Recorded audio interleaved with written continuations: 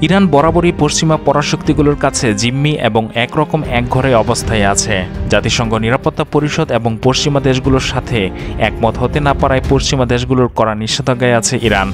অন্য দেশের কোনো প্রযুক্তি দেশটিতে ঢোকার রাস্তা একরকম বন্ধ হয়ে আছে। এরই মধ্যে গত ফেব্রুয়ারিতে দেশটি নিজেদের তৈরি স্টিলথ ফাইটার জেট কাহারকে পাইলটবিহীন যুদ্ধ বিমানে পরিণত করার পরিকল্পনা প্রকাশ করেছে।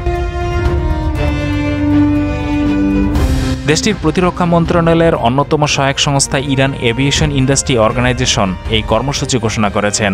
ইরান তার সামরিক প্রযুক্তি দিয়ে পশ্চিমা বিশ্বকে তাক লাগিয়ে দিচ্ছে প্রতিনিয়ত। কাহের বিমানটি দুই হাজার কেজি অস্ত্র নিয়ে উঠতে পারে। ছয়টি PL two twelve type air to air missile বা একাধিক ছোট স্মার্ট গাইডেড মিসাইল এতে সংযুক্ত করা যায়। বিমানটিতে ছোট রাডার ক্রস সেকশন থাকায় অল্প উচ্চতায় উঠতে সক্ষম। ছোট আকার এবং সিঙ্গেল ইঞ্জিন ডিজাইনের কারণে বিমানটি general electric J eighty five টার্গেটের রিভার্স ইঞ্জিনিয়ার্স দিয়ে চলতে পারে, যা ইরানের হাতে রয়েছে। একটি টেলিভিশন সাক্ষাৎকারে একজন আইএআইও কর্মকর্তা বলেছেন, তারা এই যুদ্ধাস্ত্রটিকে পঞ্চম প্রজন্মের স্টিল ফাইটার ডেভেলপমেন্টের চূড়ান্ত পর্যায়ে পৌঁছেছেন।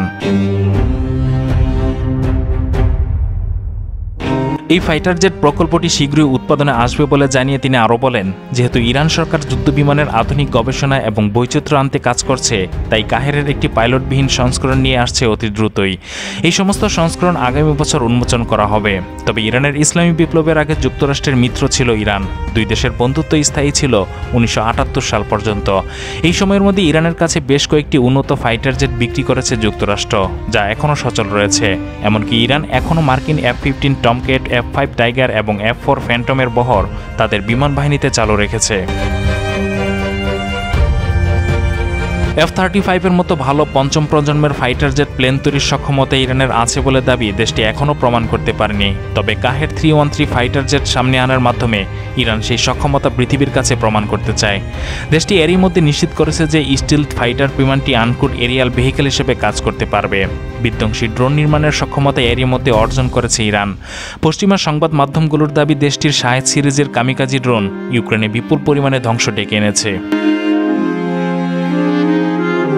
দেশটি রাশিয়ায় এই ড্রোন রপ্তানি করে নেটো জোটভুক্ত দেশগুলোর মধ্যে বিপর্যয় সৃষ্টি করেছে। কারণ এত অল্প খরচে বিশাল পরিমাণে ধ্বংস চালাতে পারে এই ড্রোন। কিন্তু এই ড্রোনকে প্রতিরোধ করতে ইউক্রেনকে কোটি ডলারের মিসাইল ব্যবহার করতে হয়েছে। তাতে ক্ষতির পরিমাণ অনেক গুণ বেড়েছে। তবে পশ্চিমা দেশগুলোর এসব বিষয়ে ইরানি সরকার বিভ্রান্ত নয়। তারা এসব অভিযোগ অস্বীকার করে আসছে।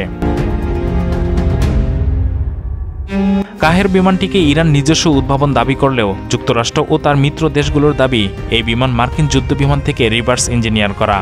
ইসলামী বিপ্লবের আগে যুক্তরাষ্ট্রের কাছ থেকে কিছু বিমান পেয়েছিল ইরান। কাহেরের যেসব ছবি ও ভিডিও ফুটেজ ইরান প্রকাশ করেছে, সেগুলো দেখে বলা হচ্ছে এদের সঙ্গে মার্কিন এফ টোয়েন্টি টু র্যাক্টরের ডিজাইনের মিল আছে। এই ডিজাইনের নানা ত্রুটি খুঁজে বের করার চেষ্টা করছে পশ্চিমারা।